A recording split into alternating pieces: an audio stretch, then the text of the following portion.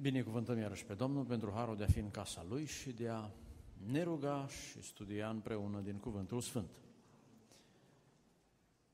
Am parcurs două lecții din tematica referitoare la lucrarea Duhului Sfânt și vă reamintesc în câteva cuvinte că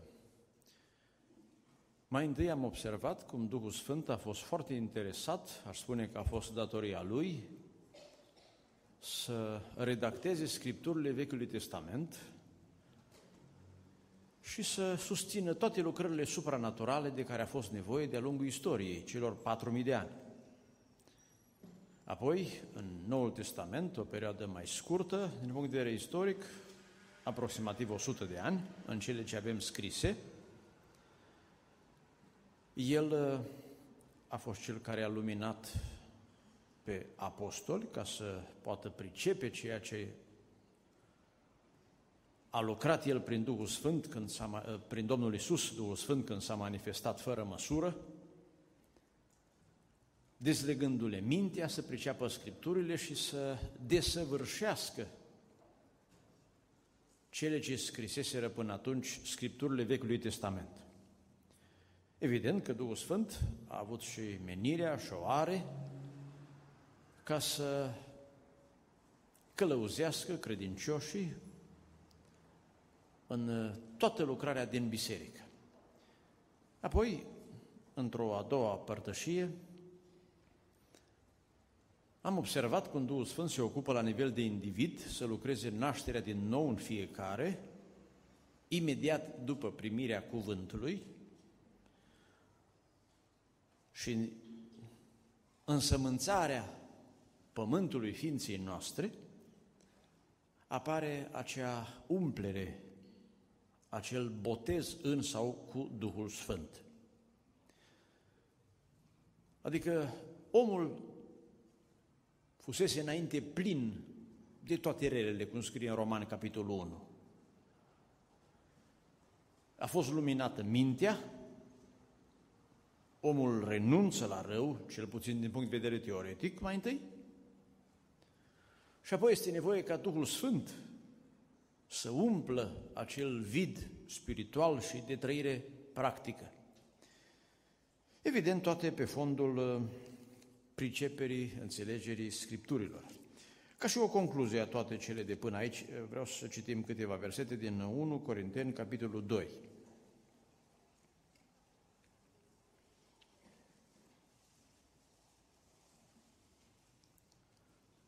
De la versetul 7. Noi propovăduim înțelepciunea lui Dumnezeu, cea tainică și ținută ascunsă pe care o rânduise Dumnezeu spre slava noastră mai înainte de veci, conform planului său, și pe care ne-a cunoscut unul și nu fruntașii viacului acestuia, nici roman, nici evrei, căci dacă ar fi cunoscut-o, n-ar fi răstignit pe Domnul Slavei. Dar după cum este scris, lucruri pe care ochiul nu le-a văzut, urechea nu le-a auzit și la inima omului nu s-au suit, așa sunt lucrurile pe care le-a pregătit Dumnezeu pentru cei ce îl iubesc. Deci oamenii n-au putut să înțeleagă, să priceapă sau să schițeze ei felul în care va lucra Dumnezeu.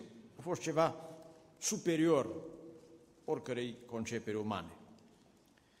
Nouă însă, zice apostolul, și putem spune și noi la rândul nostru, Dumnezeu ni le-a descoperit prin Duhul Său, căci Duhul cercetează totul, chiar și lucrurile adânci ale lui Dumnezeu.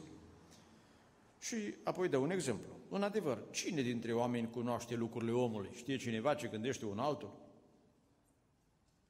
Afară de Duhul omului care este în el. Tot așa, nimeni nu cunoaște lucrurile lui Dumnezeu afară de Duhul lui Dumnezeu. Deci nu exista altcineva să poată descoperi cele rânduite de Dumnezeu. Și noi n-am primit Duhul lumii, Aici, având în vedere și versetele de mai sus, face referire la înțelepciunea lumii, la ceea ce pricepe lumea. Și am primit, completez eu, Duhul care vine de la Dumnezeu, ca să putem cunoaște lucrurile pe care ne le-a dat Dumnezeu prin Harul Său. Și vorbim despre ele nu cu vorbiri învățate de la înțelepciunea omenească, ci cu vorbiri învățate de la Duhul Sfânt, întrebuințând o vorbire duhovnicească pentru lucrurile duhovnicești. Și apoi face o separare clară între ceea ce poate înțelege un om din afară și respectiv un om dinăuntru, un om care vine la Domnul și pentru care evreu sau dintre neamuri mahrama este luată. Omul firesc nu primește lucrurile Duhului lui Dumnezeu, căci pentru el sunt o nebunie, un nonsens, n-au valoare, nu par a fi potrivite așa. Și nici nu le poate înțelege, pentru că trebuiesc judecate duhovnicește. Deci iată că nimeni nu poate pricepe pe Dumnezeu în lucrările sale. Nu poate să înțeleagă pocăința, nu poate să înțeleagă lucrările lui Dumnezeu, nu poate să trăiască așa cum vrea Domnul, decât dacă îl luminează Duhul Sfânt. Nu există altă sursă de inspirație, alt suport spiritual. Omul duhovnicesc, din potrivă, poate să judece totul, adică să analizeze, să gândească. Și el însuși nu poate fi judecat de nimeni, că n-au cum să ne înțeleagă. Căci, ridică din nou acea întrebare din profeți, cine a cunoscut gândul Domnului ca să-i poată da învățătură? Noi însă avem gândul lui Hristos. Adică gândirea lui Dumnezeu a devenit între timp gândirea noastră. Și acum îl pricepem. Cum gândește El care lucrează prin intuitatea Duhului Său, așa gândim și noi acum, că ne-a dat tot Duhul Său. Ne-a racordat la aceeași sursă. Cum îl putem pricepe de ce lucrează așa? Credem planurile sale despre veșnicie, suntem de acord cu felul în care vrea să lucreze în biserică și altfel nu s-ar putea. În această seară vreau să studiem împreună din Scripturi, cu preponderență din Noul Testament, cum se realizează călăuzirea noastră, adică odată botezați cu Duhul Sfânt, odată umpluți, cum putem să păstrăm această umplere? Cum putem să avem o relație strânsă cu Domnul, în așa fel încât să nu păcătuim? După cum scrie în 1 Ioan 3, cine născut din Dumnezeu nu păcătuiește. Și de asemenea, cum se poate să avem călăuzire chiar în lucrările în care suntem implicați, potrivit cu darurile ce le avem, și fac aici o scurtă mențiune, despre daruri tot ale Duhului, vom vorbi în părtășiile noastre viitoare. Pentru că noi avem nevoie de această călăuzire în vederea dezvoltării părtășiei noastre cu Domnul aici și pentru eternitate. Apoi, noi trebuie să creștem. Am vorbit de naștere din nou, asta înseamnă un bebelaș în credință. Dar scopul lui Dumnezeu pentru noi este creșterea la maturitate. Și hai să fim sinceri, adesea se observă prin adunări că întârzie procesul maturității, cum spunea și scriitorul către evrei în capitolul 5, zicea el, de mult trebuia să fiți învățători. Și iarăși trebuie să fiți alimentați cu lapte, adică cu lucrurile de început ale pocăinței, n-ați avansat. Deci, haideți să încercăm să ne punem în modul cel mai serios fiecare problema și să ne verificăm, dacă vreți, metodele noastre spirituale. Cum te-ai obișnuit să-L asculți pe Dumnezeu? Cum poți să înțelegi mai ușor uh, șoapta Duhului Sfânt. Când îți dai seama că ai făcut voia Domnului și poți seara să spui, Doamne, îți mulțumesc că astăzi am fost biruitor în ispite, te-am ascultat, uh, am fost uh, la îndemâna ta, am fost călăuzit, căci așa este scris în Roman 8 cu 14, cei ce sunt călăuziți de Duhul lui Dumnezeu sunt copii al lui Dumnezeu. Căci făcând o comparație, am mai făcut noi asemenea referiri, degeaba aș avea o perioadă de curtare și logodnă și nuntă deosebită cu o fată sau cu un băiat, să fie totul extraordinar și după aceea viața de familie să fie așa, când se ceartă, când mai lucrează împreună, iară se bucură, iar au pace, iar nu-i bine. Și unii așa se desfășoară viața de credință la unii. Vin la adunare, se pocăiesc, plâng, aș zice că se îmbrățișează cu Domnul. Un răspuns bun, zice Scriptura, că e un sărut pe buze. Pleacă, fac un scandal, iarăși certați, spune, cu soțiile, cu bărbații. Deci o părtășie strânsă, într-o unitate duhovnicească.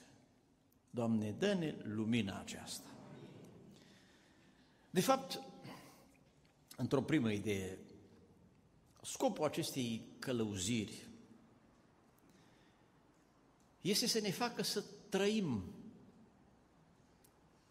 cum trăiește Dumnezeu, să fim fie Lui, aceasta e de fapt trăirea în Hristos. Pavel zice, eu am murit și nu mai trăiesc eu, ci Hristos trăiește în mine. E un alt fel de a trăi față de ceea ce am fost până a ne pocăi în Domnul. Haideți să citim câteva pasaje biblice. Mai întâi, Roman, capitolul 8. Versetele 1 și 2. Acum, dar nu mai este nicio osândire pentru cei ce sunt în Hristos Iisus, adică încorporați în trupul bisericii sale. El este capul și noi suntem într-o legătură organică cu El. Noi nu mai suntem separați. Nu avem viață sau altă comparație. Ioan 15, El este vița, noi mlădițele, suntem în El, care nu trăiesc după îndemnurile firii pământești, ci după îndemnurile Duhului. În adevăr, legea Duhului de viață în Hristos Iisus m-a izbăvit de legea păcatului și a morții. Sunt într-o altă stare.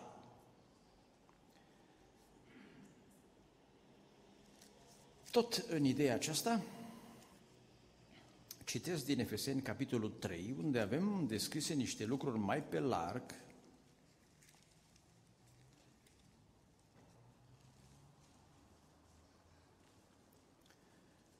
De la versetul 16, unde este o rugăciune a apostolului către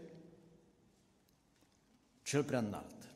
Și rog ca potrivit cu bogăția slavei sale să vă facă să vă întăriți în putere, cum? Prin Duhul Lui, în omul din lăuntru. Așa încât Hristos să locuiască în inimile voastre prin credință. Deci vom vedea că a trăi Domnul în noi sau a fi noi în El înseamnă a umbla călăuziți de Duhul, a avea Duhul lui Hristos. Asta e ce vom citi noi în Romani 8, că cine nu are Duhul lui Hristos, cine nu e a Lui. Adică cine nu trăiește în Hristos, cine nu trăiește după felul Lui de a fi, în cine nu se manifestă Hristos, nu e a Lui. La asta se referă Scriptura acolo. Asta rezultă din mai multe referințe. Și apoi citiți iarăși de la versetul 19. Să cunoașteți dragostea lui Hristos care întrece orice cunoștință, ca să ajungeți plin de toată plinătatea lui Dumnezeu. Și acum oferta divină. Iar acelui ce prin puterea care lucrează în noi, deci este o putere a Duhului, poate să facă nespus mai mult decât cerem sau gândim noi, că nu știm nici să ne rugăm suficient, nici nu-L înțelegem destul. Dar El, prin Duhul, realizează în noi mai mult decât ne dăm noi seama. Sau decât gândim, sau decât cerem. Merită să îi aducem o laudă, cum a făcut și apostolul aici. A Lui să fie slava în biserică și în Hristos Iisus din neam în neam în vecii vecilor. Amin.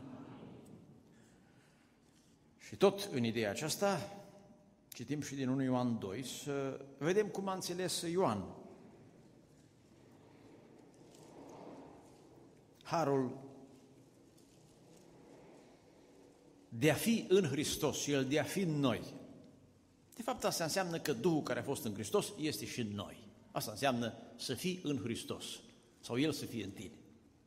Exact ce spunea Domnul Iisus despre relația Lui cu Tatăl. Credeți-mă că eu sunt în Tatăl, Tatăl este în mine, ce zice Tatăl, eu fac, nu fac nimic de la mine, Era aceeași undă de lucrare. 1 Ioan 2 cu 20. Dar voi ați primit ungerea din partea celui Sfânt. Ungerea, putem spune că este lucrarea care o face Duhul Sfânt în noi. Și știți, orice lucru. Adică știm ce îi place de acum lui Dumnezeu, îi înțelegem gândul. Suntem dispuși să facem ceea ce este plăcut. V-am scris nu că n-ați cunoaște adevărul, ci pentru că îl cunoaște și știți că nicio minciună nu vine din adevăr. Minciunile aparțin altui Duh. Și versetul 27, cât despre voi, ungerea pe care ați primit-o de la El rămâne în voi și nu aveți trebuință să vă învețe cineva, ci după cum ungerea Lui vă învață despre toate lucrurile și este adevărată și nu este o minciună, rămâneți în El după cum v-a învățat ea. Adică atunci când Duhul Sfânt vine într-o persoană, eu nu mai trebuie să aibă lângă el un dascăl, un mentor. Duhul Sfânt, prin ungerea aceea, poate să-l călăuzească, întru totul. Poate ești undeva singur, peste zi, n-ai de la cine cere un sfat. Duhul cu tine, te călăuzește, te ajută, te lămurește. Citești singur din Scriptură, te iluminează. Că beneficiem și de slujirea altora, cu atât mai bine. Dar călăuzirea aceasta este la nivel de individ. Așa se ocupă Domnul de fiecare, lăsând Duhul Său în ființa noastră, unindu-ne cu Hristos, având gândurile Lui. De aceea spune Scriptura, să aveți în voi gândul care era în Hristos. Dar cum? De unde să mă inspir eu? Duhul vine în mine și ce a gândit Hristos, gândesc și eu, că Duhul vine în Duhul minții noastre. Vreau să punctăm acum o altă idee și până în final trebuie să ne lămurim de-a binelea. Lecția aceasta ne solicită gândirea ca să putem să pricepem. Pentru că vom vedea călăuzirea Duhului Sfânt nu este neapărat uh, întotdeauna când Duhul Sfânt ne șoptește, trebuie să treacă un fior prin noi. S-ar putea să avem momente de cercetare speciale când nu doar să treacă un fior, să fim ridicați de la dușumea, dar fiorul acesta nu va fi de dimineața până seara și de seara până dimineața și călăuzirea trebuie să fie 24 de ore. Deci sunt experiențe speciale pe care le face Duhul Sfânt, dar călăuzirea este foarte fină la nivelul minții și acolo trebuie să se facă lumină în gândirea noastră. De fapt, și cu aceasta revin la Roman, capitolul 8.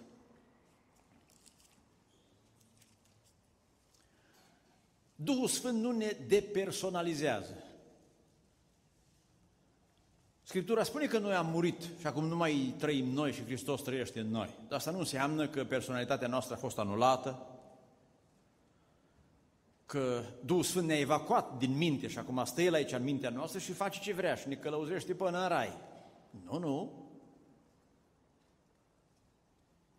Duhul lui Dumnezeu lucrează împreună cu Duhul nostru. De fapt, rolul lui este să educe Duhul nostru. Noi trebuie să rămânem ființe independente, Duhul Sfânt nu ne va forța, nu ne va brutaliza. În Biblie găsiți scris de îndemnurile Lui, de călăuzirea Lui, de cârmuirea Lui. Dar totul se petrece finuț la nivelul minții omului. Fapt care face să schimbe o realitate fundamentală a vieții. Rețineți! Omul trăiește sub călăuzirea Duhului, nu pe baza educației, ci prin schimbarea unei legi de funcționare a minții. Să schimbă o lege. Să citim despre legea aceasta în Romani, capitolul 8. Adică se schimbă condițiile spirituale. Da, citim din șapte ca să înțelegem mai ușor. În 7 cu 14 începe plângerea scriitorului când zice știu că legea e duhovnicească, dar cum să nu fie frumos ce e scris în Biblie? Dar eu sunt pământesc, vândură păcatului. Că nu știu ce fac. Nu fac ce vreau, ci fac ce urăsc. Adică eu știu că ar fi bine să fac altfel, dar nu pot. N-ați întâlnit oameni care spun, nu pot să mă schimb, n-am putere. Așa este. Ca om nu poți, dacă nu se schimbă legea asta. Vă dau un exemplu. Și apoi continuăm.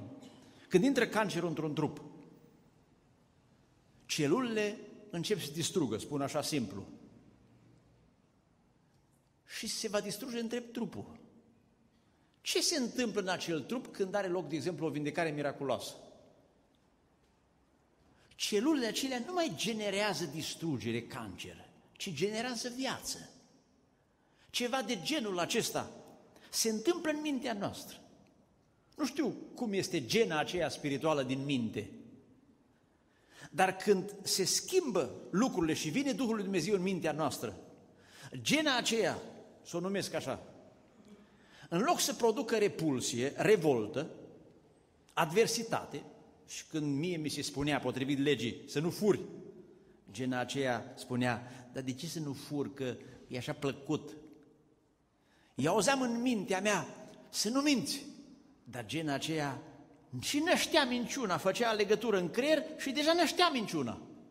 Și eu eram ca neputincios, spunea, am auzit într-un colț al minții mele ce îmi cere mie Dumnezeu, dar din partea cealaltă, ca o forță irezistibilă în mintea mea, mă mâna să spun altceva.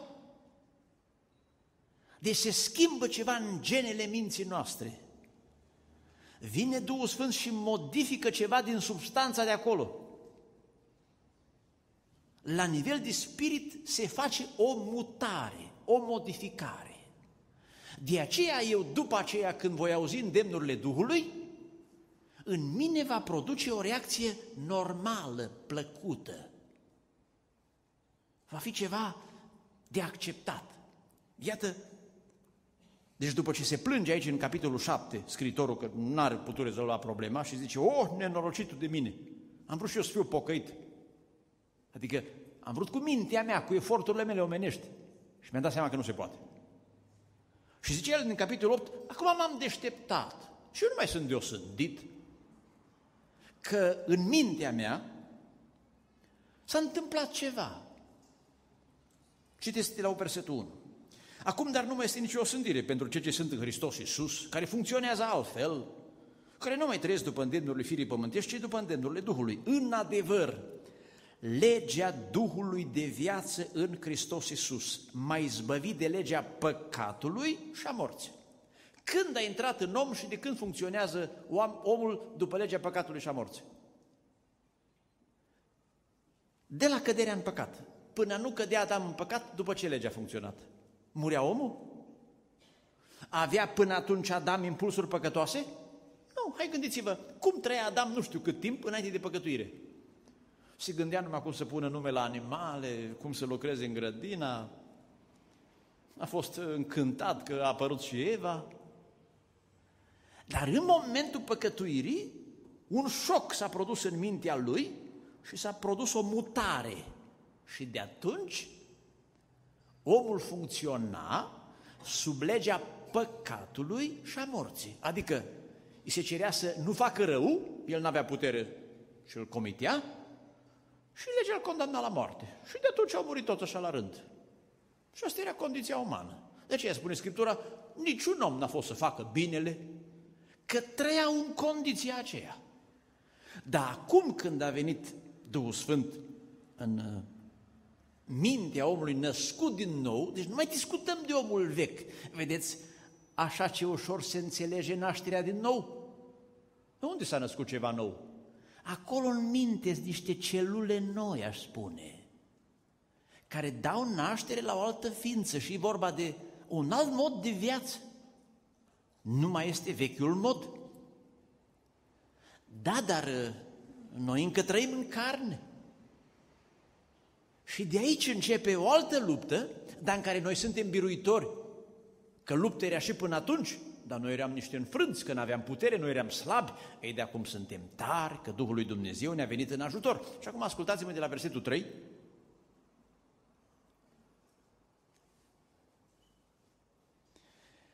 Căci lucrul cu neputință legii Legea cerea ca omul să fie sfânt. Întrucât firea pământească o făcea fără putere. Legea cerea și omul în firea pământească spunea, dar tu nu înțelegi că nu pot. Dumnezeu a sândit în firea pământească păcatul și Domnul Hristos a murit într-un trup semănător cu al nostru, trimițându-l pe pământ.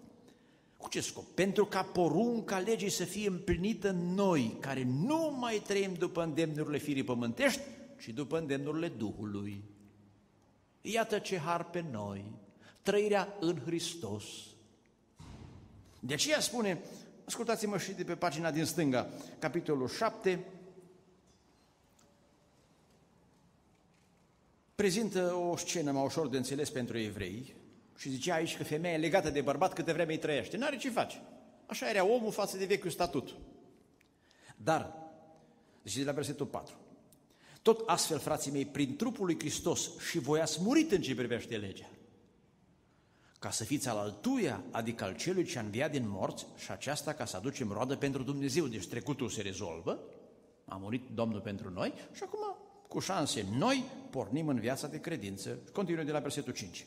În adevăr, și acum vreau să ne fie clar că trebuie să ascultăm de îndemnurile Duhului și putem, din condiția asta nimeni nu are voie să spună nu pot. Duhul Sfânt nu e neputincios. Cine nu poate nu e născut din nou. Cine nu poate nu are Duhul în el. Cine are Duhul în el poate. Dacă îl ascultă.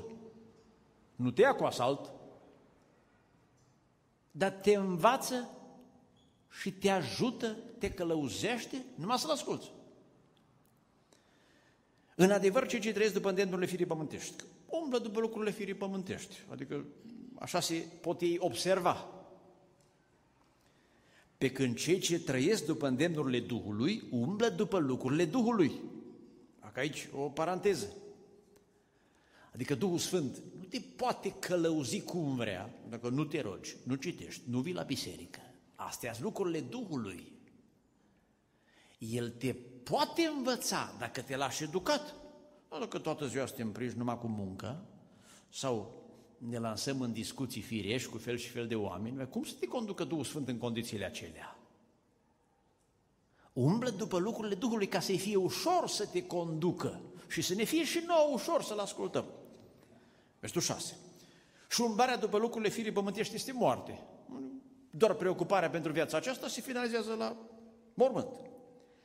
Pe când umblarea după lucrurile Duhului este viață, și aici și dincolo, evlavia, și pace. Fiindcă umblarea după lucrurile firii pământești este vrășmășie împotriva lui Dumnezeu, căci ea nu se supune legii lui Dumnezeu și nici nu poate să se supună. Deci dacă ai vrea să faci și lucrurile firii, sens lucrurile păcatului, nu lucrurile materiale, condițiile vieții. Și vrei să faci și lucrurile sfinte, intri într-o contradicție fragrantă. Deci cei ce sunt pământești nu pot să placă lui Dumnezeu.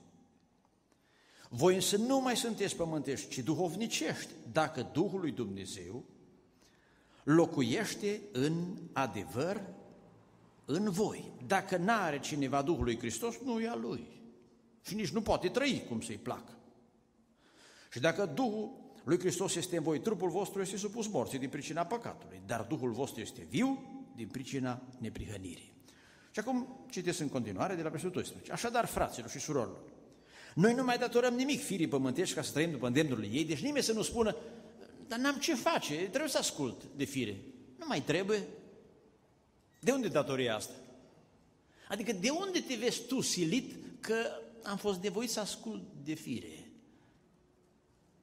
N-ai motivații, n-ai argumente, numai așa, ca Petru, că Domnul ne-a pus să ne rugăm, noi nu ne-am rugat și am căzut. Dacă trăiți după îndemnurile ei, veți muri, degeaba am fost născut din nou, degeaba am primit Duhul Sfânt, dar dacă prin Duhul faceți să moară faptele trupului, și astea nu mor numai odată și rămân moarte, ci în orice ispită trebuie să rămână moarte. Dacă așa facem, vom trăi. Și ajungem la versetul la care am făcut referire, că toți cei ce sunt călăuziți de Duhul lui Dumnezeu sunt fii al lui Dumnezeu. Trecem și în Galaten 5, unde lucrurile sunt prezentate în antiteză, de o parte sunt stările firii, de partea cealaltă ale Duhului și noi ne putem verifica cum am fost sau cum trăim. 5 cu 16. Zic, dar umblați cârmuiți de Duhul și nu împliniți poftele firii. Observați, harul ce avem, superioritatea Duhului. Dacă umblăm călăuziți, nu împlinim poftele firii. Că firea pământească poftește împotriva Duhului, deci este o luptă în mintea noastră. La omul care a băut înainte, nu-i arde numai gura și stomacul, îi arde mintea. Și așa e cu fiecare viciu. La mincinos, îi vine diavolul cu ispite și mintea lui jubilează cu minciuni pe versuri. Poate să spună o mie de, de șotii și de bancuri. Și Duhul îi spune, astea nu zidesc, astea nu dau har. Și tu trebuie să le blochezi acolo în minte, dar poți. Tu ai cheie. Duhul Sfânt îți spune, nu le deschide ușa. Tu poți să le controlezi. Mai trebuie să rămâi tare. Doamne, dar simt conflictul acesta. Da, asta este. Dar, zice Apostolul Pavel în 2 Corinteni, capitolul 10, noi avem arme în dotare ca să biruim 10 cu 3, măcar că trăim în firea pământească. Adică fiecare poate să aibă în carnea lui aceleași pofte ca toți oamenii. Și Domnul Hristos a fost ispitit în toate felurile. De la pofta de mâncare până la orice poftă, l-a putut ataca și pe el. Totuși, nu ne luptăm călăuziți de firea pământească, adică nu mintea noastră decide ce facem și ce nu facem prin orațiunea ei sau prin obișnuință. Că armele care ne luptăm noi nu sunt supuse firii pământești, ci sunt puternice, întărite de Dumnezeu ca să surpe întăriturile, deci e vorba de niște redute demonice. Uneori poate trebuie să plângi, să caci în genunchi, să strigi, să te lupți, să te împotrivești până la moarte. Și vei fi biruitor. Versetul 5. Noi răsturnăm izvodirile minții. Aici sunt voaiele păcatului. Aici trebuie blocate și tot de aici trebuie să plece șuvoaiele înțelepciunii, gândurile bune. Și orice înălțime care se ridică împotriva cunoștinței lui Dumnezeu și orice gând îl facem rob ascultării de Hristos. Deci niciun păcat nu are voie să stăpânească. Facem rob.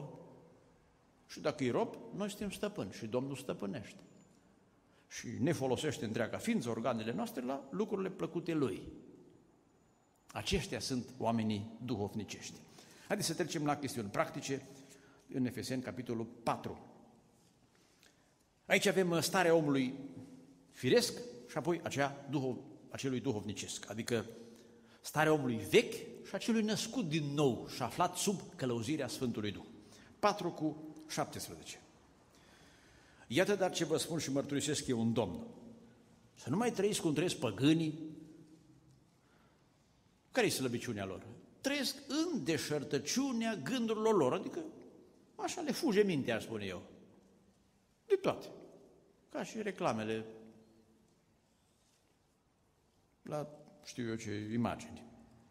Având mintea întunecată, fiind străin de viața lui Dumnezeu, deci nici nu cunosc, n-au îndeleniciri sfinte din pricina neștiinței în care se află în urma împietrinii lor. Și au ajuns foarte răi. Ei și-au pierdut orice pic de simțire sau de dat la desfrânare. Săvârșesc cu lăcomie orice fel de necurăție. Recent citeam într-un pliant, cineva a întrebat de ce Dumnezeu nu a intervenit ca să nu se întâmple catastrofele acelea din New York sau niște alte catastrofe la școală unde au fost împușcați niște elevi. Și cineva a răspuns, da, Dumnezeu este finuț, este un gentleman, cum spun americanii. L-am scos din școală, l-am scos din viața privată și eu s-a retras fără să ne spună. Și acum, fiindcă noi l-am rugat că vrem să trăim fără el și ne s-a întâmplat o catastrofă, ne plângem că de ce nu ne-a păzit. Adică noi nu l-am lăsat la școală și acum ne plângem că am pușcat cineva pe un coleg de-a meu de școală. Dar dacă noi l-am evacuat, cine-i de vină? Deci omenirea a decăzut, fiind străin totalmente de viața cu Dumnezeu. Nu-i fac păcate, poate și cugetul lui s-a întinat, nici nu le contabilizează, curg precum apele. Dar, ascultați ce scrie de la versetul 20, voi n-ați învățat așa pe Hristos? El a fost un mod de viață, ca și noi. Cum a putut Domnul Hristos trăiască fără păcat?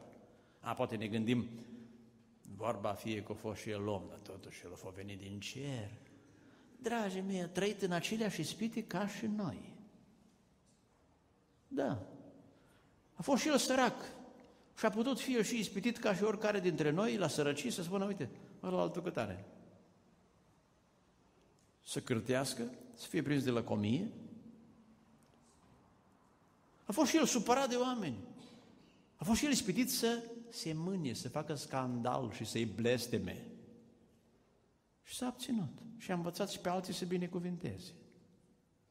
Toate ispitele astea care le avem, noi le-a avut și el. Cum a putut să trăiască fără păcat? A avut Duhul peste el. Același Duh vine peste noi. Și scrie aici, dacă cel puțin l-ați ascultat și dacă potrivit adevărului care este în Isus ați fost învățați cu privire la felul vostru de viață din trecut, să vă dezbrăcați de omul cel vechi, care se strică după poftele înșelătoare și să vă înnoiți în Duhul minții voastre, adică acele gene noi de care vorbeam.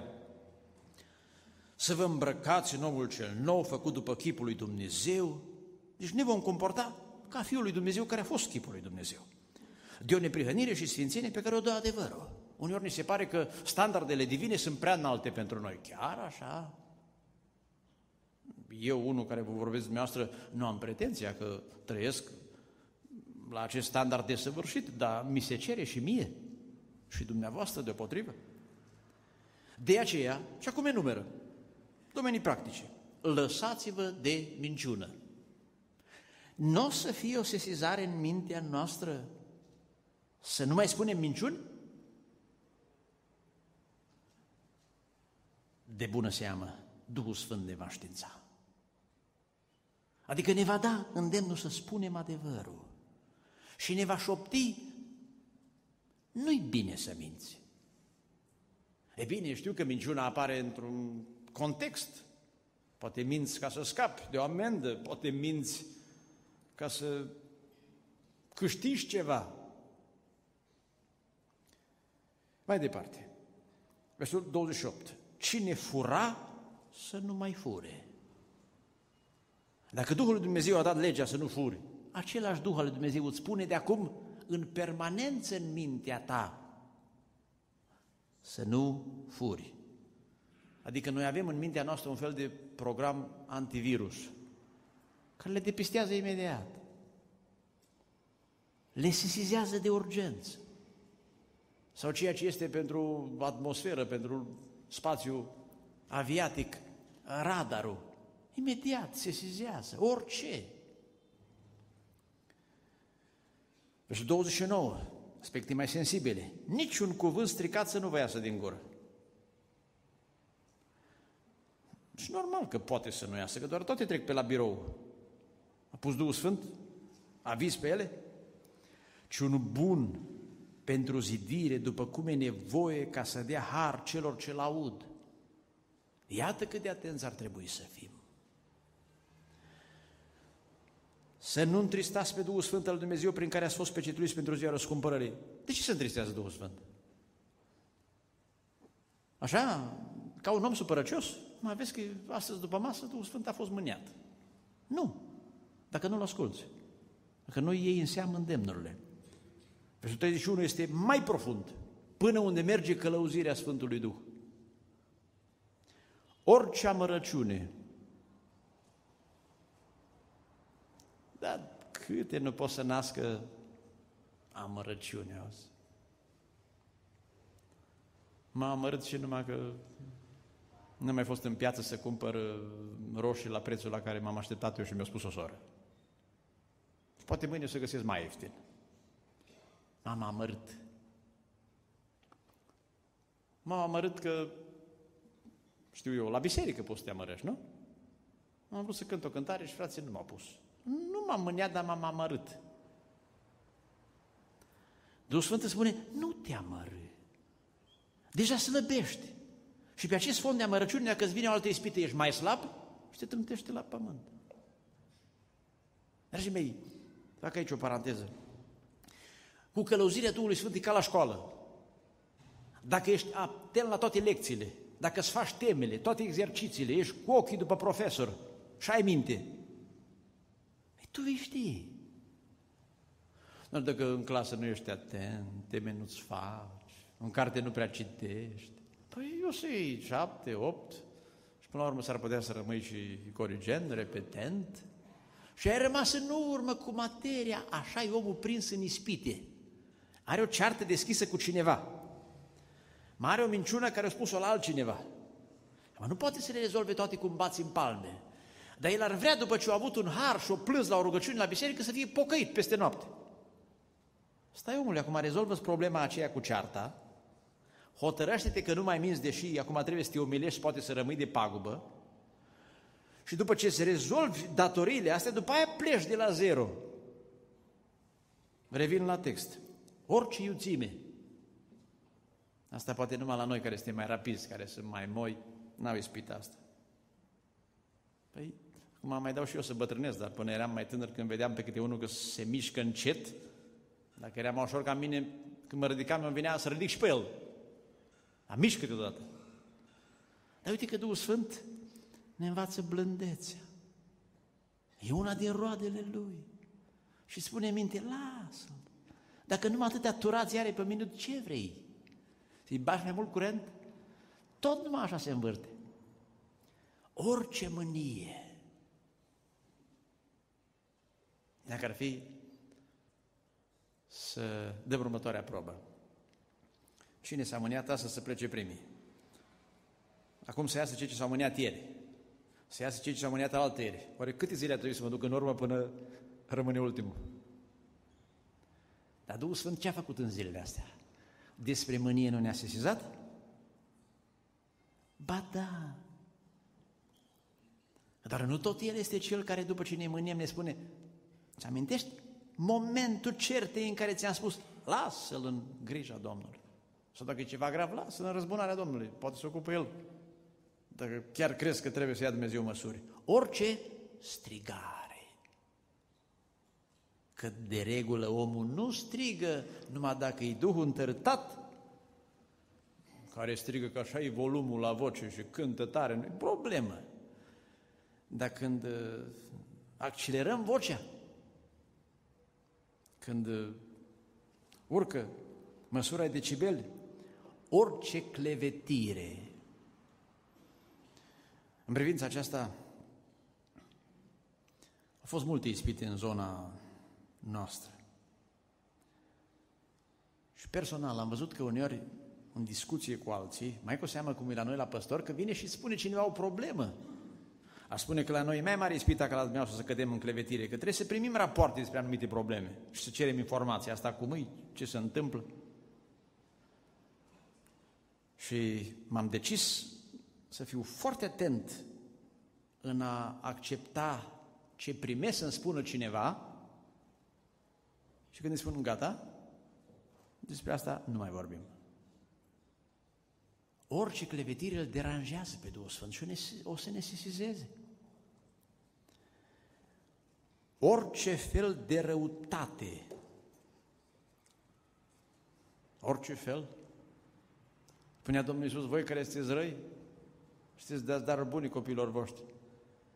Deci, e generală în omenire răutatea. De fapt, unde e limita între răutate și bunătate? Trebuie împinsă cât mai mult spre bunătate. Poți să fii ceva mai bun, foarte bun, plin de bunătate. Sunt gradații. Toate acestea să piară din mijlocul vostru. Și Duhul Sfânt, oprindu-te de la astea, în mintea ta e totul. Mare sediu, multe birouri. Acum te îndeamnă și îți dă alte activități, din potrivă. Observați opozanța aceasta? Fiți buni unii cu alții, miloși, iertați-vă unul pe altul. Da, noi căutăm motive, știi? Spunem Duhul Sfânt, dar e logica, articolul de lege pe baza căruia să-l iert. Și ne-l citește imediat cum v-a iertat și Dumnezeu pe voi. Gata. Trebuie să semnăm și noi, au articol de lege, să iertăm. Dar trebuie uneori așa, să înghițim puternic și poate se mai întrebă o dată, dar Duhul Sfinte, chiar așa trebuie să fac? Exact așa, fără abatere. Doamne, ajută-ne! Ei, nu-i chiar ușor asta, nu? Dar se poate, deci ideea asta era, nu că e ușor, se poate. Și, rețineți, făceam comparația cu școala. La școală avansezi. Făceam comparația cu maturizarea. În viață crește. Până ești copil în credință, mai faci greșeli, zice Pavel în Corinteni 3. Păi nu știți voi tot copii, vă certați, vă... aveți neînțelegeri. Deci dacă am crește spre maturitate, ne este mai ușor. Deci nu va fi toată viața o luptă cu aceeași intensitate. Vor fi ispite. Dar nu toată viața vei fi ispitit să, să bei, dacă până n-ai fost pocăit ai băut. Nu toată viața vei fi ispitit să înjuri, dacă tu n-ai înjurat 20 de ani. Ai și pierdut contactul sau perit din memorie. Poate vei fi ispitit doar așa să te mâni la o supărare. Deci ne este mai ușor pe zi ce trece că ne obișnuim în umblarea cu Domnul prin credință. Este tot mai plăcut, este ceva mai ușor de executat. Și finalul acestei stări, vi-l citesc din uh, Roman, capitolul 6,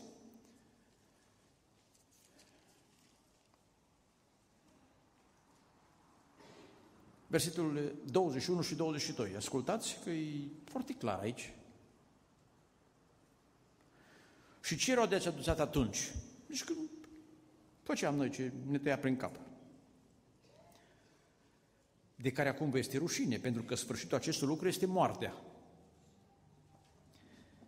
Dar acum, odată ce ați fost izbăviți de păcat, deci asta e izbăvirea de păcat, puterea Duhului Sfânt ca să nu mai fac păcat. Sunt izbăvit că stăpân, nu mai el stăpân, eu nu mai sunt rob vândut păcatului. Trăiesc după o altă lege. Este ce s-a întâmplat după abolirea sclaviei. Mi-amintesc cu un caz când un fost stăpân era într-o gară și a văzut unul din vechi servitori și le-a spus, John, ia valiza. Și ăsta din obișnuit s-a plecat spre ele. Și fostul lui sclav de acum, coleg de afaceri, la cotiș și a spus, ei, tu nu știi ce an trăim. Sclavia a fost. A pus mâna pe bagaj și l-a aruncat cât colo. Să ți-l duci sau dacă nu ești, ți-l lasă. Deci, ispita ne vine. Dar dintr-o dată spune, stai bă că ne suntem șefi acum. Împotriviți-vă tar diavolul și el va fugi. Deci el nu mai poate veni ca un proprietar, spună, ba după aceea să ne mai și amenințe cu moartea. Să știi că o să păcătuiești și o să mori. Asta crezi tu. A murit Domnul pentru mine. Și acum mi-a dat Duhul Sfânt ca să trăiesc biruitor. Că mă am ispite, mă lupt și nu mă las. O să cresc prin maturitate și pierzarea pentru tine și îngerii tăi. Dar pentru mine e viața. Asta e nădejdea, mântuirii, coiful și scutul credinței. Iată ce scrie aici în versetul 22. Dar acum, odată ce ați fost izbăviți de păcat și v-ați făcut robe lui Dumnezeu, că putem de la noi să fim biruitori, noi ascultăm de Duhul Sfânt, suntem rob la Duhul Sfânt, de aia trebuie să ascultăm de El. Suntem robi a Lui ascultându-L. Aveți ca rod sfințirea. Deci noi trebuie să ne dezvoltăm ca un pom și în timp să aducem roade. Numai când cântăm și când spunem, Doamne, să te urmăm, astea sunt floricele, dragii mei. Dar trebuie să te ia ca notimpuri peste noi, să ajungem să rodim, să treci prin greutăți, prin necazuri, să te bată vânturi, așa ca pe acele case și tu să rămâi în picioare. Ăsta e rodul. Asta e dovada maturității. Iar ca sfârșit, viața veșnică. Asta e pocăința. Ar fi ușoare teoriile astea americane. Gata, am primit pe Domnul Isus și în rai. Vorba cuiva, dacă ne necăl la botez, dar dacă mai rămânem și trăim ani de zile, aveți ca rot sfințirea și ca sfârșit viața veșnică. Doamne, ajută-ne! Duhul Sfânt se ocupă aici de educația noastră sau în rai vreți să se ocupe de noi, să ne bage la școală. Și atunci să ne scape de mânie și de supărări, sau o să ne supărăm și în rai, trebuie Dumnezeu și îngerii să fie numai finuți cu noi și să vadă care cât e de tulbure. Domnul să ne dea harul să-L ascultăm. Duhul Sfânt e Cel ce ne iluminează. Adică ne deschide orizontul. El ne învață.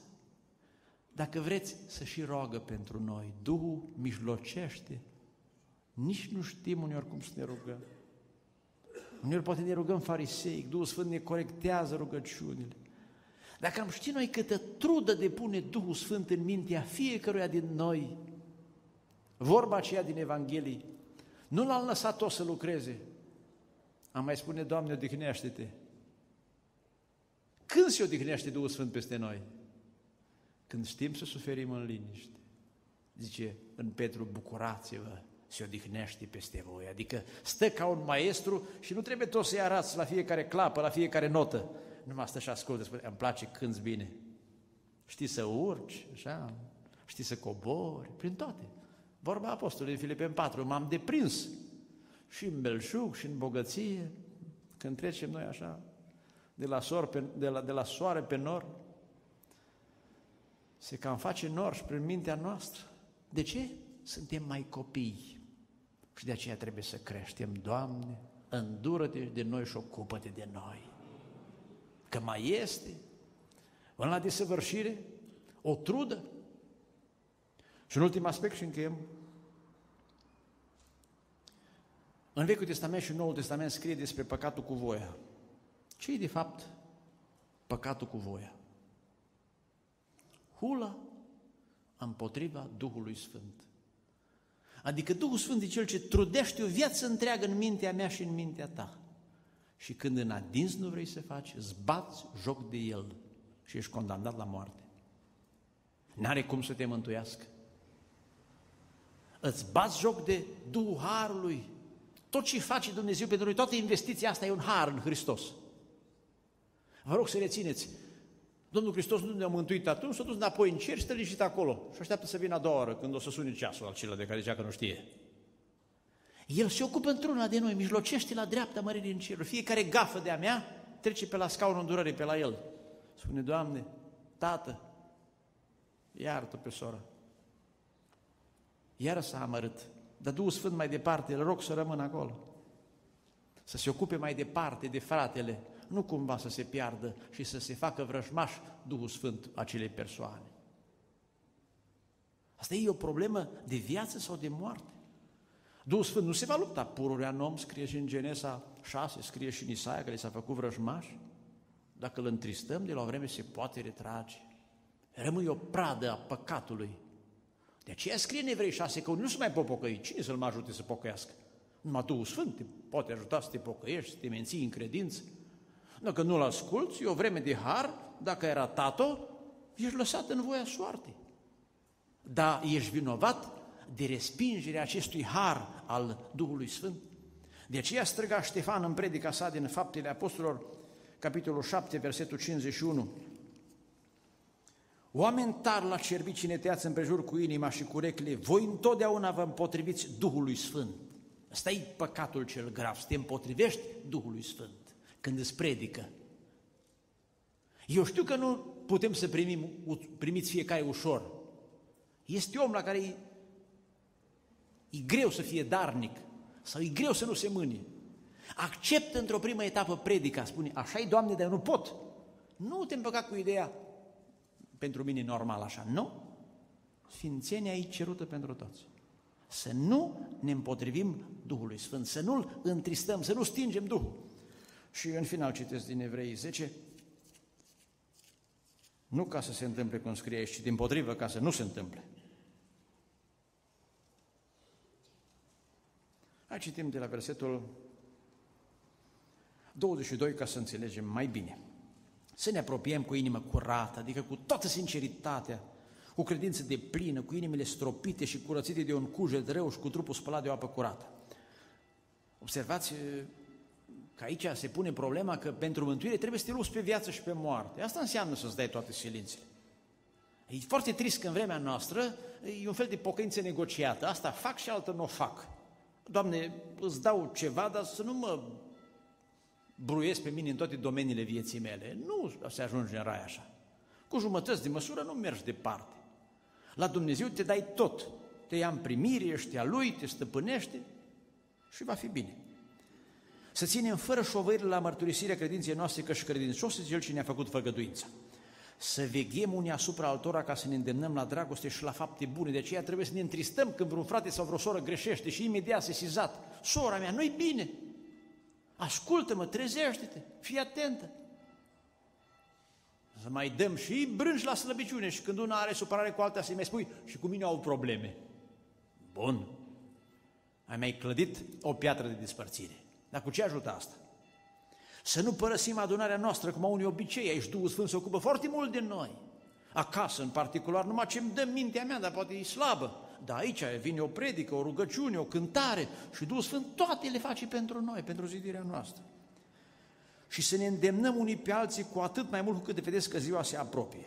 Și acum atenție, că dacă păcătuim cu voia, deci am știut, în mintea noastră a fost clar, după ce am primit cunoștința adevărului, nu mai rămâne nicio jertfă pentru păcate, ci doar o așteptare înfricoșată a judecății și văpaia unui foc care va mistui pe cei răzvrătiți. Și acum se face legătura cu Vechiul Testament. Cine a călcat legea lui Moise este omorât fără milă pe mărturia a doi sau trei martori. Cu cât mai aspră pedeapsă credeți că va lua cel ce va călca în picioare pe Fiul lui Dumnezeu și va pângări sângele legământului, deci dacă l-are, cu care a fost sfințit și va jocori pe Duhul Harului. Că după ce am intrat în legământ, ca un har, Duhul Sfânt se ocupă de noi într-una. Păi cum să nu fie mai grea pedeapsa? Că legea nu m-am spunea să fac. Acum Duhul Sfânt vine și mă învață și îmi dă toate harurile la îndemână ca să fac.